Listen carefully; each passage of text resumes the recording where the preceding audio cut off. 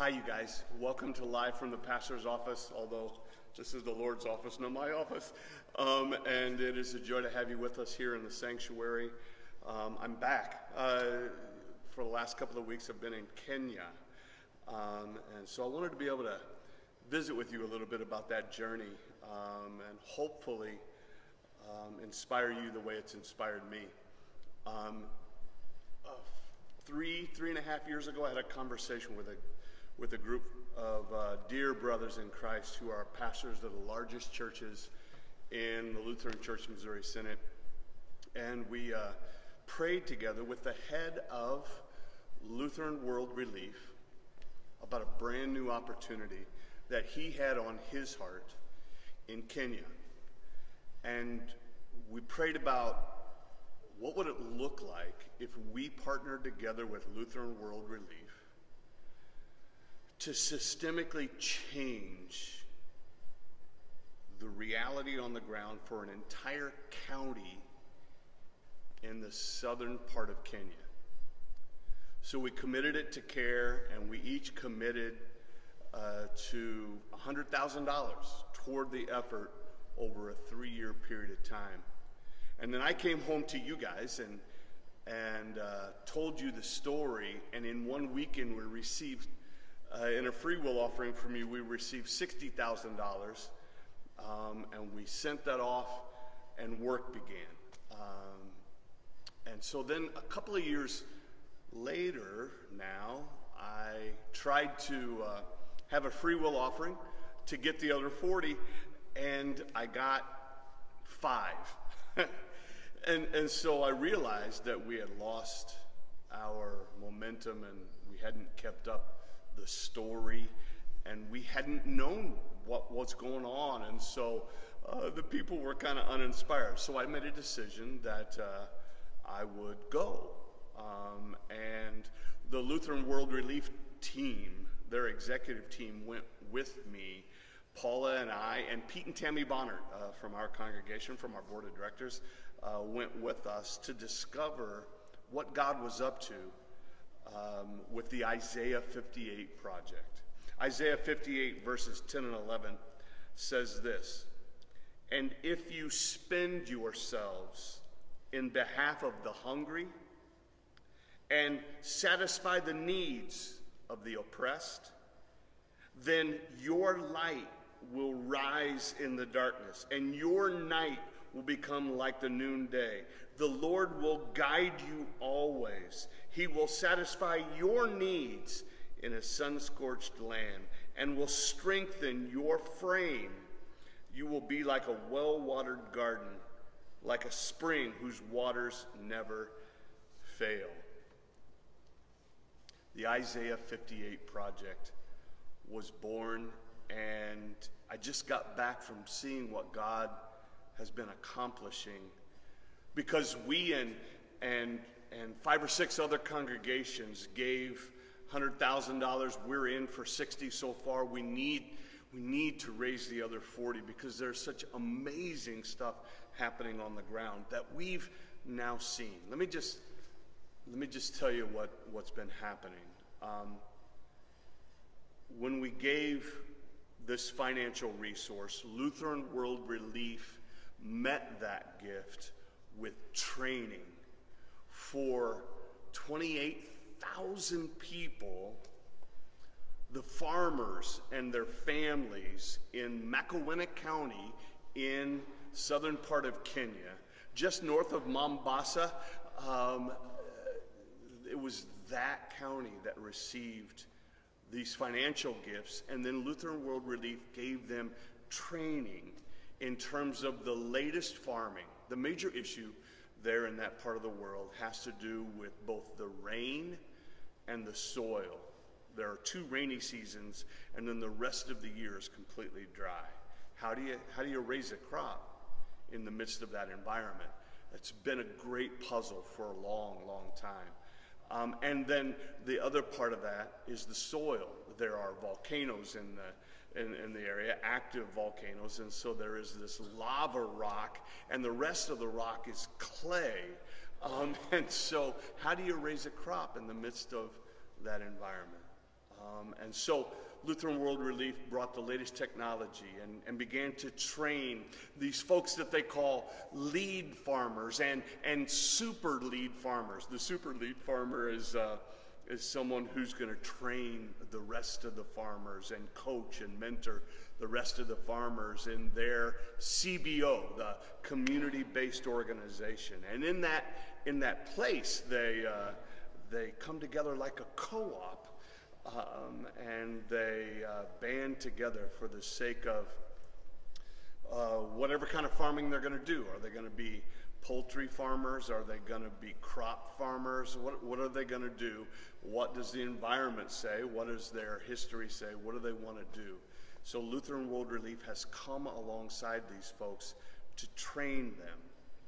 And then these people, more than anybody I ever remember giving to in my life as a pastor, as a part of a congregation, met that gift, the financial gift that you have given, and the, and the training that they received, with a really amazing work ethic. So let me just tell you a story about one lady that's representative of this whole group of folks. Her name is Joyce. Joyce is a single mom now with six kids. Her husband died of AIDS and left her to fend for herself on this plot of ground um, that's about an acre and a half to two acres. And so Joyce poured in and received this training from Lutheran World Relief and received the resource that you gave. And the first thing that she did is that she dug what you and I would probably call a, reservoir. She dug a pool. uh, think Olympic sized swimming pool. She dug a pool, and it took her three months, her and her kids, to dig this pool. It's like, it's like 20 yards long, 10 yards wide, eight feet deep. And they dug this pool by themselves so that in the rainy season, the rain would come in, and then we provided a liner for the pool so that, so that it would capture the water and keep it. So that then in the dry season, the other resource that we provided for her was a hand pump and hose so she could pump the water up out of the pool and to the, and to the place where she had planted her crop. She, she then began to dig these Zia pits, is what it's called, Zia pit. And a Zia pit is about uh, this long, about this wide, three feet down. Dig all the dirt out of it, replace the, replace the lava and the clay with, um, with oh gosh, with, um, oh, I can't think of the word now. Uh, replaced it with uh, the, the mulch compost. Thank you, compost. Uh, replace it with compost and then put a layer of dirt back good dirt back over the top, and then she would plant in the Zia pit and water in the Zia pit. Her and her kids dug 800 of these Zia pits. Um, and then and then the dry season came and she could irrigate and by our gift god used that opportunity to train her and it increased her harvest by over 50%. Joyce went from being one week to one month food secure to having food security over the course of an entire year to be able to feed her family. And then, and then we show up. And the thanksgiving and the rejoicing and the giving thanks to God for our gift and for our support and for Lutheran World Relief and their staff was just overwhelming. We saw Peter, similar story. We saw uh, seven schools, public schools, that are giving thanks and glory to God in the entire county, whose middle school kids are doing Zia pits now. And, and there are other people who are doing greenhouses in these CBOs, community based organizations and their lives will never be the same again. We now need to come through. Um, and we need to finish the other 40. There is need there based on what we said we would do. There is need based on what they would love to do yet. But we need to pour into these people um, and meet that need so that they can, so that they can continue this journey that God has given to them. God has used you to make a difference in the world for Christ. In Kenya, in about seven hours south of Nairobi, um, in Makueni County, uh, these community based organizations have come together and they have become like co ops where these people from beginning to end have been trained how to how to do crop management in the environment where they are how to how to do how to how to take the gifts that have been given and and bring them all together for the sake of community-based organization and its banking and its financing and how to find consistent markets for their produce and for their poultry and for their eggs and for the meat there are so much story and blessing. I want to be able to give you an opportunity. The first two weekends in February, we're going to do a free will offering. Um, my hope is that we'll get at least 40 so that we can continue to move this thing forward.